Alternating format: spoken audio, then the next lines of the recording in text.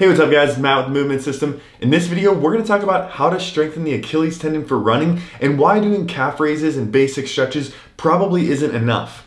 You may have heard of Achilles tendonitis or Achilles tendinopathy, which is a diagnosis for Achilles pain and associated weakness. When runners are given a diagnosis like this, they often come across a very basic set of exercises, something like this, of basic stretches and strength exercises that often don't really cut it for actually getting a runner back to full function. What no one is talking about here is that we need an entry point to rehab with some basic exercises, but we need an exit point of rehab with much more intense exercises and much higher loads than we're typically prescribing for people in rehab to actually get back to full function and having a good strong Achilles tendon. In this video, we're gonna talk about both points. We're gonna talk about how to find your entry point and what exercises are good whenever you're just starting out, and then how to find a good exit point of what you wanna actually aim for with real high loads that are really gonna build you a strong and robust tendon that can handle running. Instead of just giving you three exercises for the Achilles tendon, I'm gonna tell you exactly when you should be doing them and with how much load and how to progress them so that way you can actually get back to full function.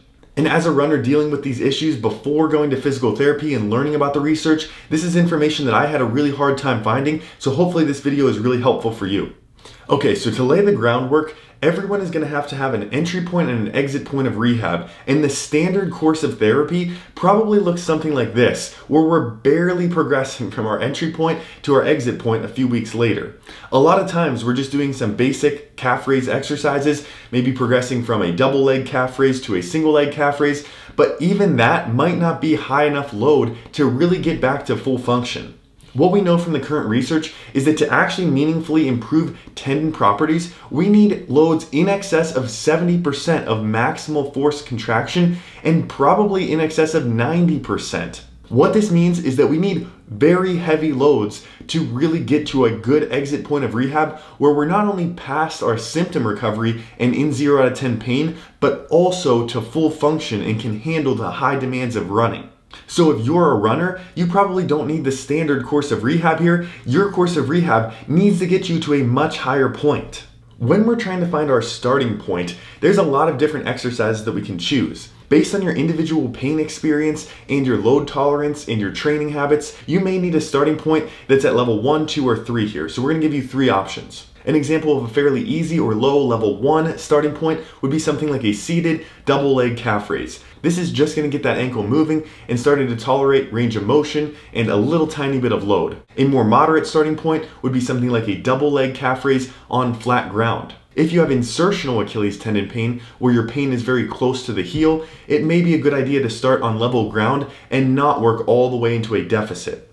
A double leg isometric hold where you're just holding a calf raise position without moving up and down could also be a good moderate starting point. For other people who are in less pain and maybe tolerate higher loads, a more aggressive starting point might be something like a double leg calf raise going all the way into a deficit or even a single leg calf raise if it's well tolerated.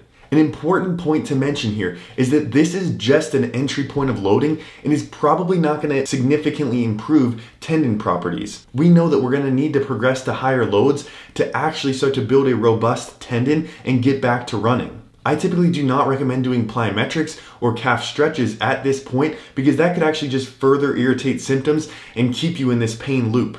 Now let's talk about the exit point that we want to get you to, and then we can talk about what exercises can help you bridge the gap from where you're starting to where you need to get to. Current research is showing us that to build strong and robust tendons, we probably need to use a lot higher loads than are typically being used in standard courses of therapy. This means that for a runner who's trying to get back to full function, beyond just symptomatic recovery and really build a strong and robust tendon, we probably want to get to very heavy isometric exercises, for example, with 90% maximal force. You may be familiar with the double leg calf raise machine, and this is the example we're gonna use to show you just how high of loads we want to target as our exit point. For me, if I'm doing 10 to 15 reps on this machine, I might set that at 175 to 190 pounds as someone with a strong, healthy tendon, but even that load is probably nowhere close to enough to actually build a strong Achilles tendon. If I'm using this machine to preferentially train the Achilles tendon, I'm gonna load that way heavier than what I can actually do for full range of motion reps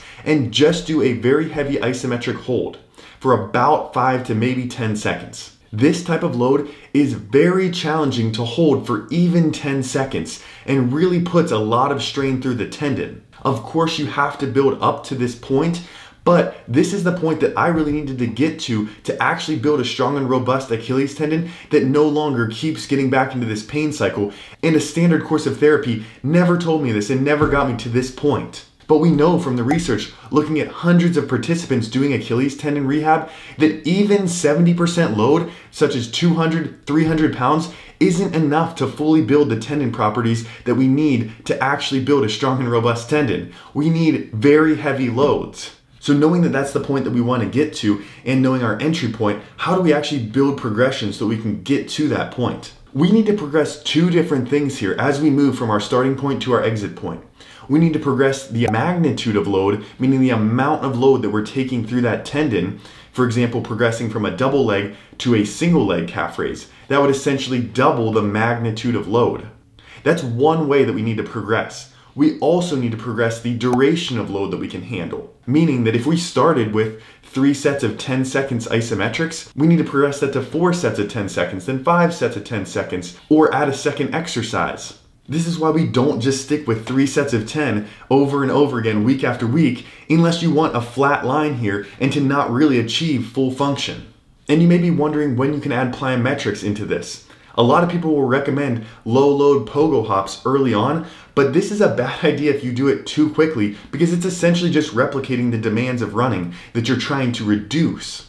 Repetitive low load stress is actually the cycle that could have led you to this pain and stress in the first place, so we don't want to add more repetitive low load stress. I think pogo hops are great and they can be added, but they're essentially just a way to control the amount of loading that we're getting in different stages of rehab. So we don't want to just throw in three sets of 20 pogo hops week one, week two, week three, week four, because again, that's a flat line here. There's no progress. And that could actually just be adding to the stress that you're experiencing.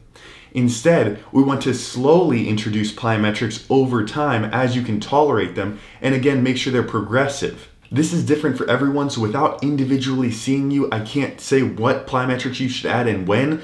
Just be careful not to add them too soon because it can just add to the stress that you're already experiencing with the same demand.